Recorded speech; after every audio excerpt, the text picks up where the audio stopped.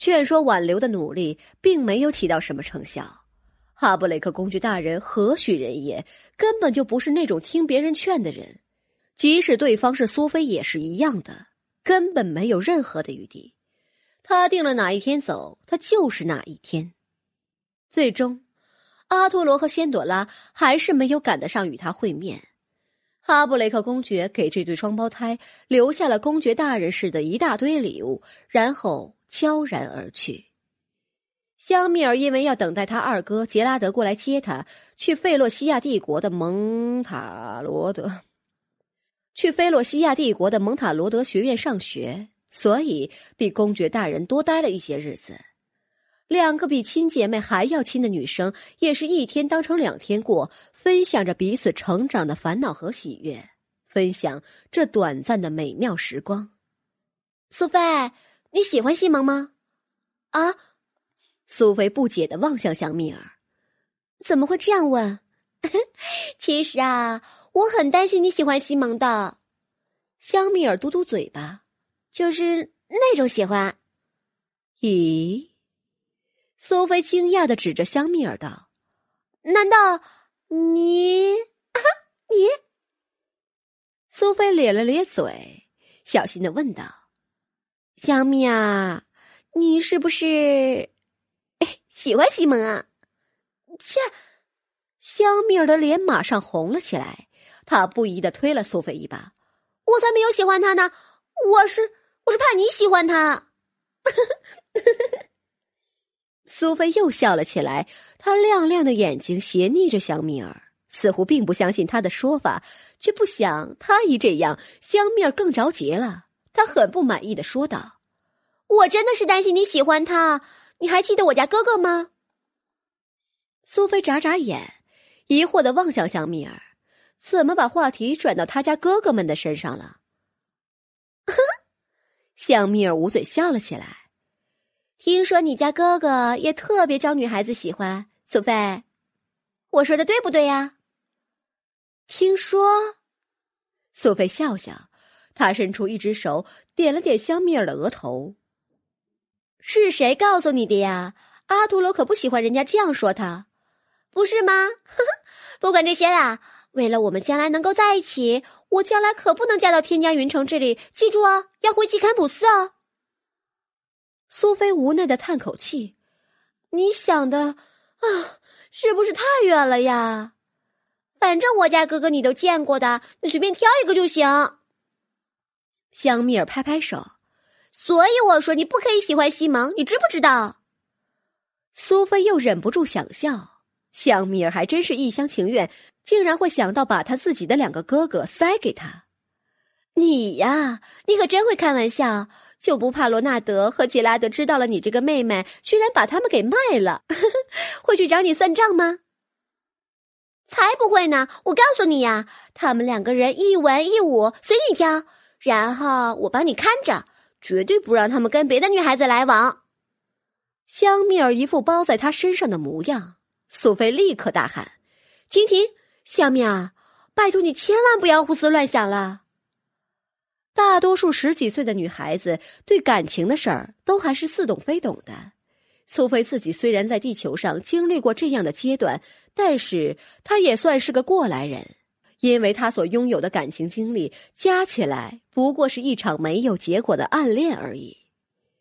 苏菲也不知道要怎样说才能让香蜜儿明白，就算在异界。无法再回到地球，他也不想早早的将自己的命运与另外一个人联系在一起。还有很多事情等待他去做，爱情这种可遇而不可求的事，他目前并没有想触碰。毕竟，这个世界在他眼里仍然是充满了无数的不确定。可是另一方面，拥有一份浪漫的、完整的、执着的、独一无二的恋情，是任何女孩子都非常期待的。苏菲也不意外，所以，她绝不拿这个最容易伤人伤己的事情来开玩笑。西蒙，他只是我的普通朋友而已。苏菲的表情带上了几分认真。夏蜜儿，这种事情还是顺其自然吧。反正无论如何，我都答应你，即使你将来嫁到世界上最偏僻的角落里，也会想办法常常和你见面的，好不好？好，就这么说定了。你可不能随口说说就算了呀。香蜜儿强调：“快点把你的空间传送门做出来吧。”自从他从梅西先生口中听说空间传送门这件事之后，他几乎每天都要提几遍，恨不得苏菲马上就把它做出来，以满足自己可以常来常往、随时可以见到苏菲的愿望。苏菲黑线连连，这位小姐真当她是机器猫吗？相聚的日子总是过得很快。感觉上送走哈布雷克公爵大人没有几天，就迎来了吉拉德。就像香米尔描述的一样，吉拉德已经长成一个完完全全的大人。他早两年就从蒙塔罗德学院毕业，目前已经回到凯德帝国，在季坎普斯的魔法工会里做事。不可否认，吉拉德现在看起来更加的成熟稳重，也更加的英俊潇洒。不过，他和以前一样。还是那么的细心体贴，待人接物非常礼貌周到。不同于阿图罗的沉默守候，吉拉德给人的感觉一直是如沐春风的，对香蜜儿的宠溺也是溢于言表。苏菲与他相处的也非常愉快，他可以谈笑风生，也可以一丝不苟，更可以做到处处为你着想。似乎无论是什么人，只要他想，他都能照顾的妥妥帖帖的。难怪伯格拉格鲁瓦大人放心派他过来送香蜜儿去蒙塔罗德学院。作为家主，苏菲除了雷打不动的练功时间之外，其他时候都用来带着这两个兄妹东逛西逛。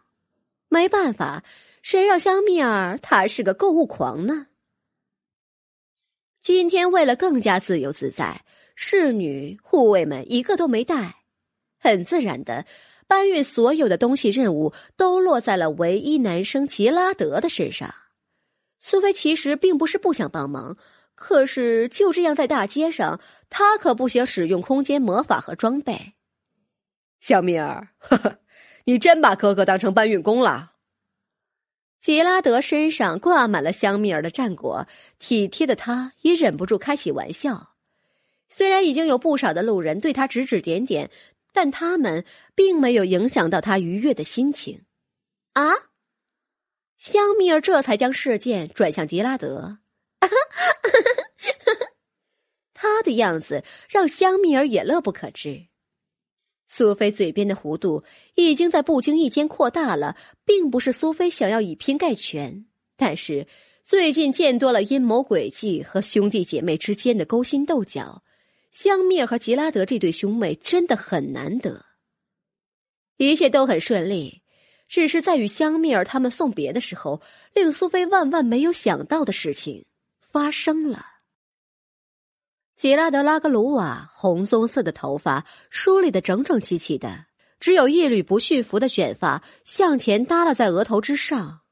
他有着一双深棕色的眼睛，目光内敛而坚定。此刻，他正望着自己妹妹哭哭啼啼的告别苏菲，心里不知为何多了几分依依之情。她真的长大了，举手投足之间完全具有优雅淑女的味道。她的衣裙还和以前一样，向来都是简单大方的，向来都是简单大方的款式和色彩。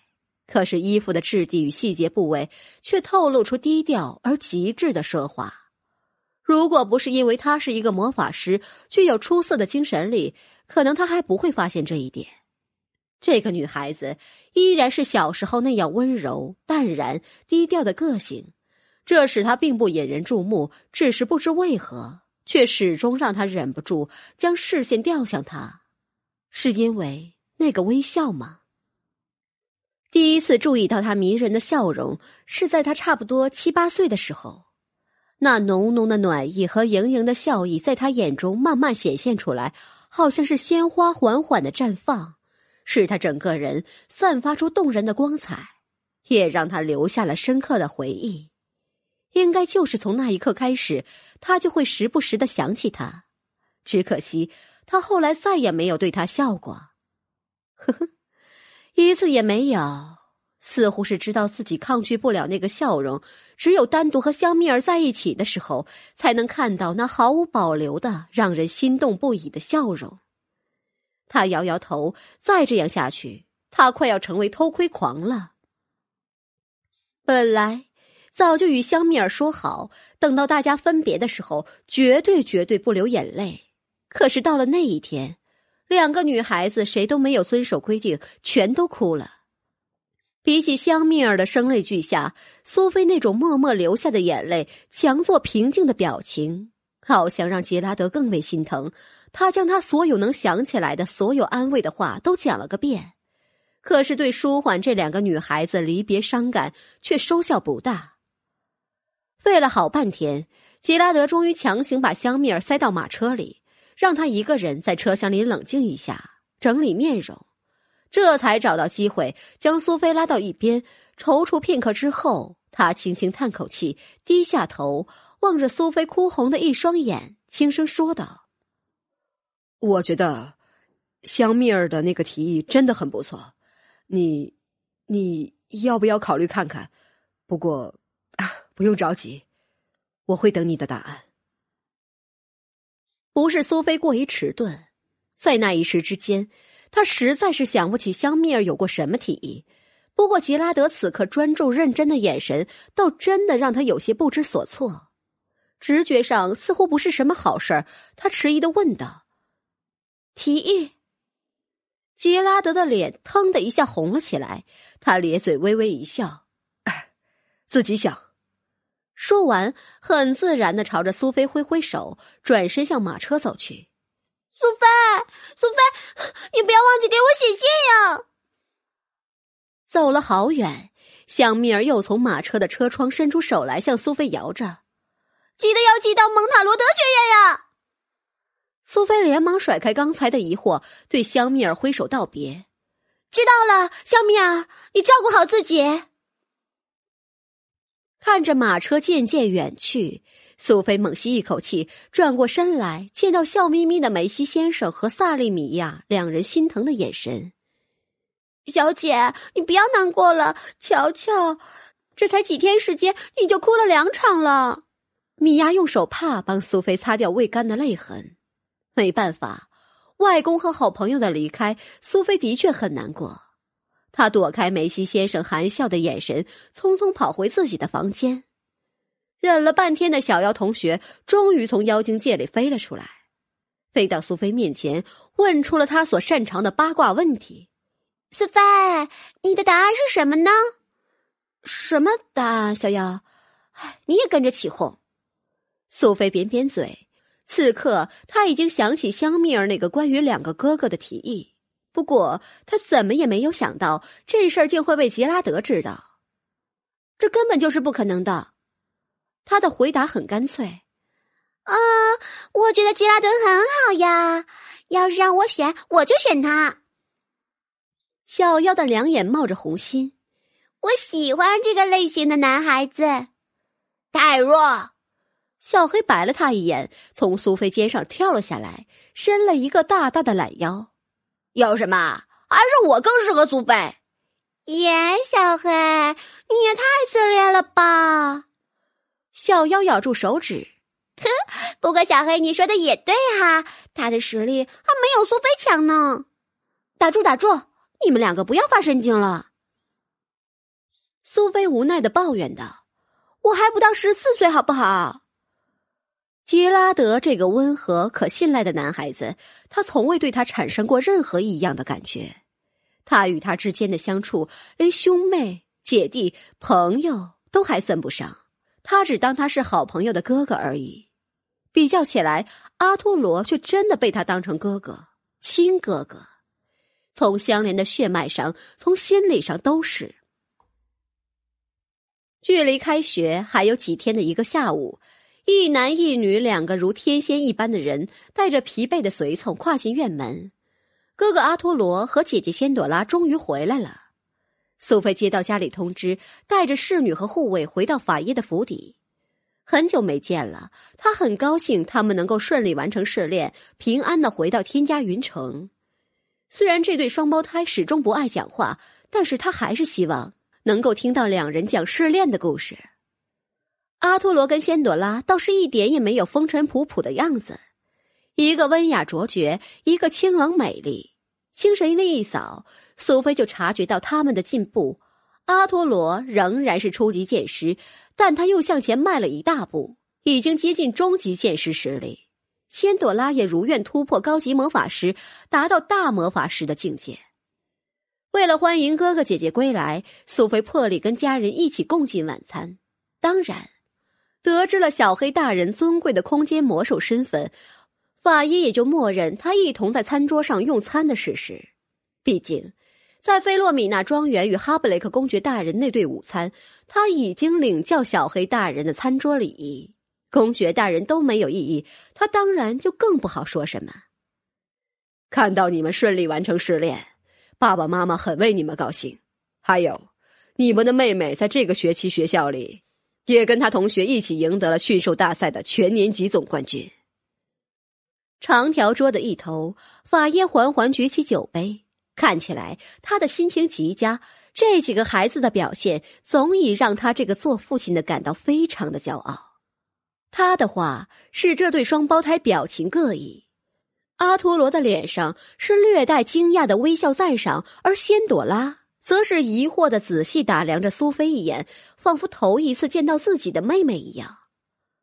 苏菲十分平静的面对他们。因为他早就知道，此次回来，他们必然会得知他空间法师这个事实。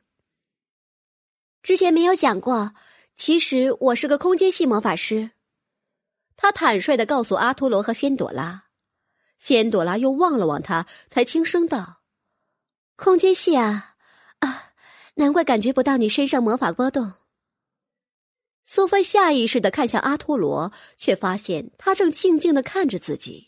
眼神之中有种遗憾，遗憾，是他看错了吗？为什么会是遗憾呢？他疑惑的抬起眉毛，可是转眼阿图罗的表情已经换成他独有的温暖微笑。而这时，仙朵拉继续问道：“苏菲，你现在是初级法师了吗？”既然看不出苏菲的程度，只好开口问了。只见苏菲奇怪的望向他，他忙解释道。啊，我是说，要不要我去请我的老师斯蒂芬辛大人帮你介绍个好老师？不用了，谢谢。苏菲摇摇头，我在莫斯霍克已经有老师了，他是炼金部的伊格纳茨大师，是吗？仙朵拉瞥了苏菲一眼，然后重新拿起刀叉，低下头，轻声重复道：“伊格纳茨吗？”是啊，苏菲。妈妈也觉得仙朵拉说的有道理。可以让斯蒂芬辛大人给你重新推荐一位空间系的老师。艾薇赞赏的望着仙朵拉一眼。之前我们都不知道你有空间系魔法天赋，既然现在知道了，有更好的老师不是更好吗？苏菲暗中叹口气，她勾了勾嘴角：“我并不打算转去魔法部。再说，伊格纳斯对我很好，而且炼金部也是我兴趣所在，不去魔法部也没有关系的。”艾薇笑起来，只是想有个老师在空间魔法上给你一些指导。伊格纳斯大师是的确非常出色的，但是并不表示你只能拜一个老师啊。你爷爷不是还帮你找了一个刺客术的老师吗？其实，苏菲轻轻的放下手中刀叉，用餐巾沾了沾嘴角。我并不需要魔法老师，而且以我现在的程度，在莫斯霍克并没有合适我的老师。他扫了一眼法耶、阿图罗和仙朵拉，他们三个人都在盯着他，他忍不住又叹一口气。他们也是想他好吧？我应该有终极魔导师的程度了，莫斯霍克应该没有比我更强的空间法师了。原本苏菲并不想说出来，可是阿图罗眼中那层期盼的神色，令他改变了主意。终极魔导师。除了苏菲自己和正在狂吃萨里专门为他准备的魔兽肉排的小黑之外，餐桌上的所有人都惊讶之极。法医和艾薇更是圆睁着眼睛，一动不动的盯着他。